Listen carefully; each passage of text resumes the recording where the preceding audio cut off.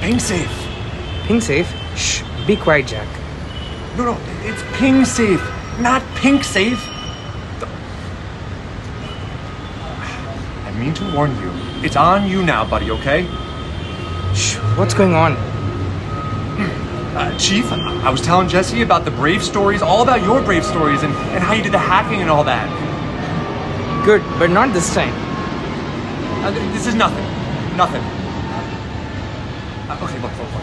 I heard through the grapevine that the corporation we're trying to hack is fully compliant.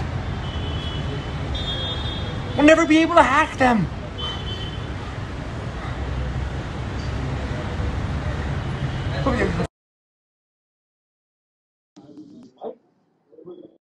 We can definitely do it. Absolutely. No questions asked.